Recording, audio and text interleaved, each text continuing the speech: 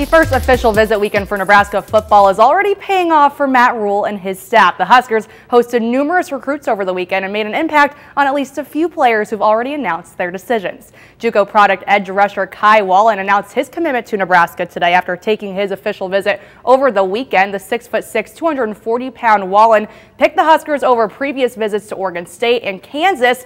The Huskers also picked up two more high school commits. Cornerback Syncere Safeeullah made his decision today. The Nashville native have recorded seven interceptions, 11 pass breakups, and 43 tackles last season. And running back Kwinten Ives also committed to the Huskers. Kwinten rushed for 1,617 yards and 26 touchdowns this past season.